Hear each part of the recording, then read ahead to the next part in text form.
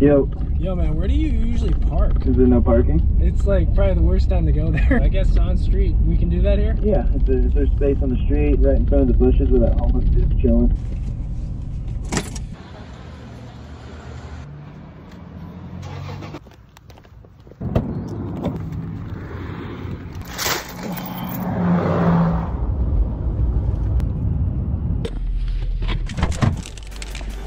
Oh, hey there. One large burrito, no onion? Oh, at. Reciprocate.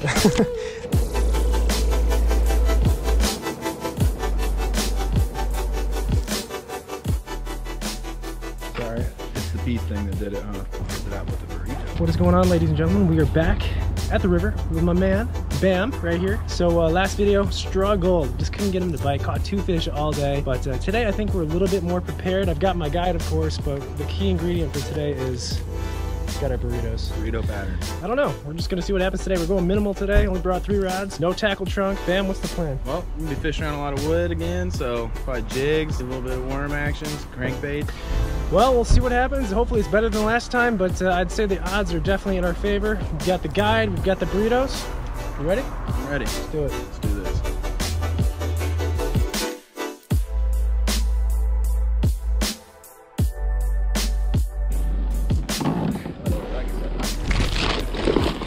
My tackle box for the day.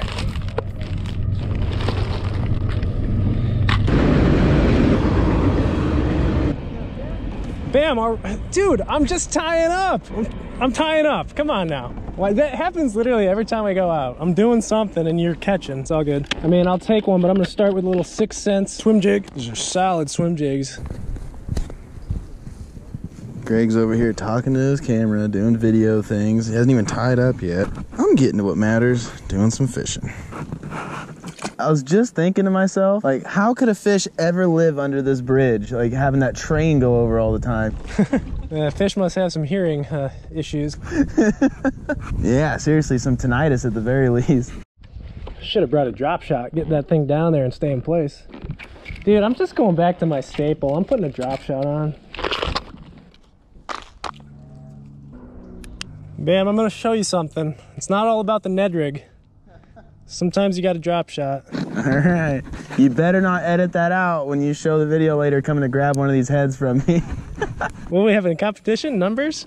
Are we having a finesse bait competition? Apparently. Drop shot versus Ned rig. I'm tying this all up. Hopefully I have my drop shot worms. I think I packed them. I just rigged a drop shot up and I don't even think I have a worm. You could use a Ned worm, but that might be cheating for the competition a little bit. You don't have one? Yeah, let me see what I have. Oh, you know what? I got worms. Ooh, I'll give you two options. You can drop shot a tube or these worms. Let's see. I don't know. What should we do? If it gets it. The Ned rig before there's a Ned rig. Can I hold on to both of them? Ah, you know what? What am I doing? This is a stupid rig. I put a weedless hook on for a reason. Just a little verbal update here. We're a mere 30 yards from Greg Blanchard, the one and only Greg Blanchard. We're about 15 minutes into the fishing day. I've got one, and I missed a bite, and he is still yet to tie up a bait. A weedless drop shot. Should do the trick.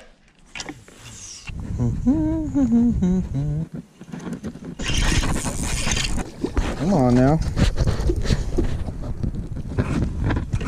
Pretty fish though. It's cool up here too. These fish are like perfect, you know. They don't have all the nasty stuff the rest of the Delta fish have. Ned rig two to nil.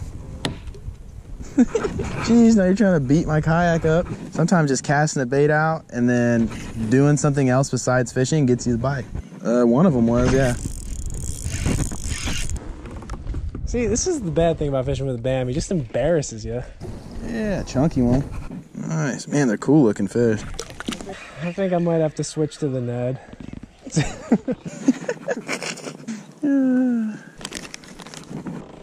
Deja vu. You said you haven't seen these before. Giant Ned. Giant Ned. Oh my gosh. Biggest Ned I've ever seen. All right.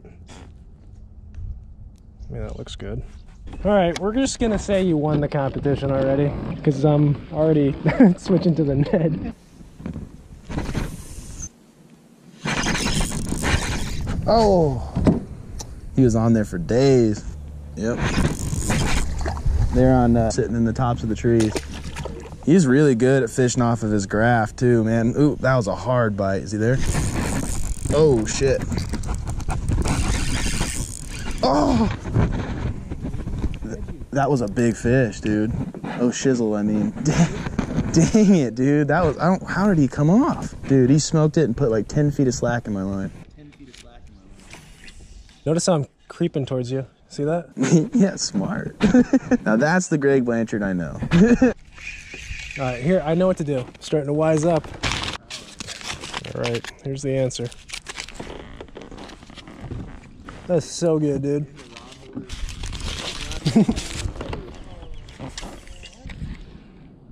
It's crazy what those things can eat when they really want to eat. Finally. Finally on the board. Just had to use Bam's equipment.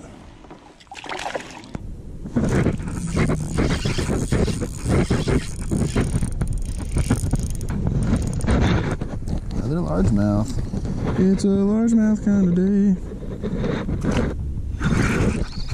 Ah. Just grabbing the end of it, I guess. Decent one.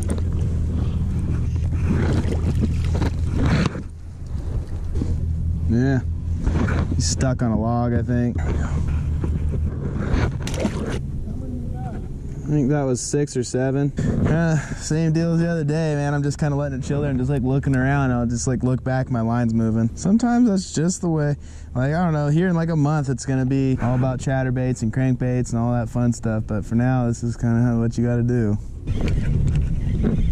There we go. We got a spot on the board. Hopefully your camera's on. Yeah. Little spotted bass. Thank you, sir.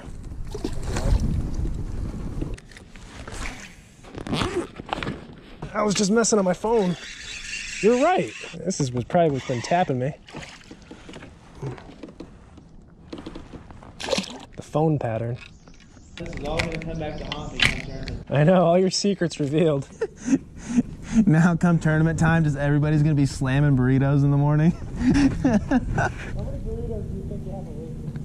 Probably like three or four a week. It's everything packed into one. Lots of carbs to keep me energized throughout the day.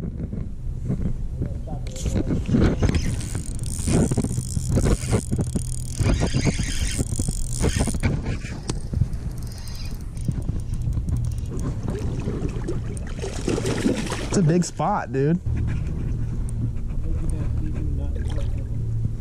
About that big. Oh my gosh. Wow. Dude, that's a fat spot. That's cool. You don't go, go don't have to go to the reservoirs to find big fat spots. You can stay on the delta. Dude, that's a nice nice delta spot right there. That's cool. Yep. Cool.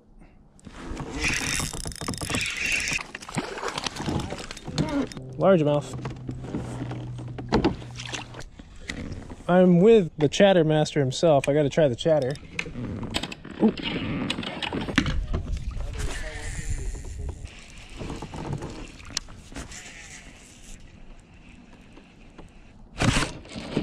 It worked. Chatter.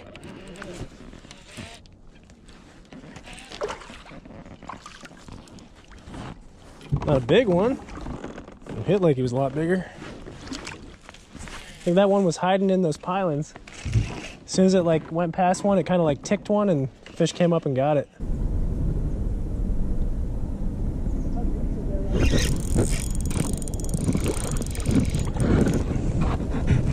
Severe chokage. Bye bye, Nedrig. Bye bye. Man.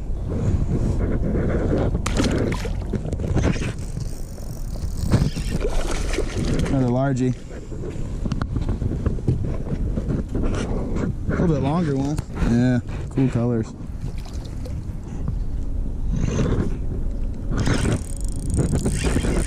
It's all wrapped up around a log and had a fish on the other end.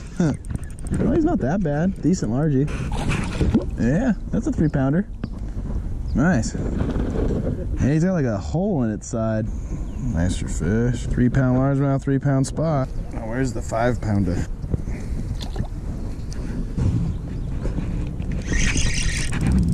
Oh shit. Holy. Something big. Something big. It's gotta be a striper. Oh no, it's just a good sized bass. Bigger than that. Bigger, but not by much. That was crazy, dude. That was such a hard pulling fish. That's crazy. Woo! you're, gonna, pull a Blanchard on me? That's like an 18 and a half, 19. Finally. and there's the smallmouth. Right on. Here we go. Three species on the delta. Largemouth, the spot. Now the smallie.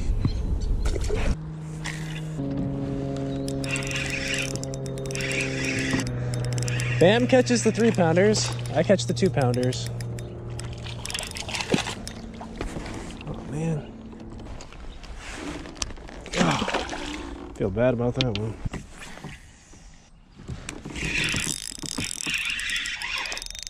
Finally. Golly. That's a pretty one. Real pretty one. This little guy.